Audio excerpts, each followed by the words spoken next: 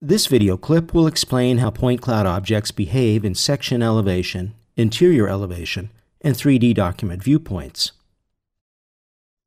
A point cloud object is displayed by ArchiCAD not only in the floor plan viewpoint and in the 3D viewpoint, but also in section elevation and interior elevation viewpoints. In these section type viewpoints, the horizontal range defined for the viewpoint affects how much of the geometry of the point cloud is displayed.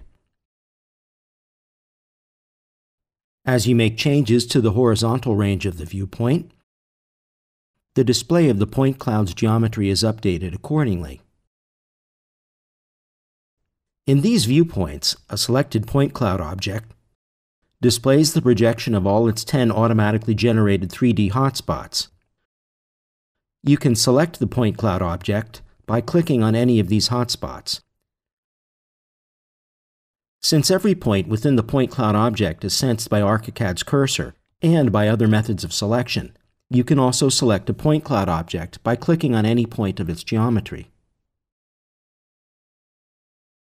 Also, if you are selecting elements with the help of the marquee, none of the selection hotspots of the point cloud object have to fall inside the marquee area.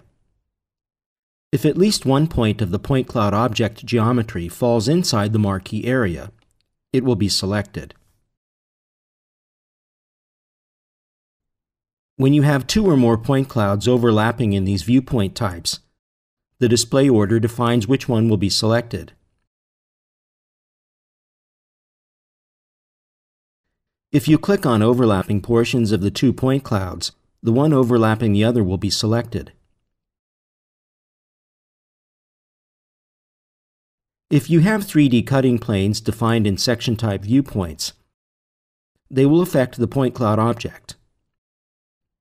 The parts of the point cloud object cut off by 3D cutting planes will be displayed with a halftone effect. One additional thing to know is that in 3D document viewpoints, point cloud objects are not displayed.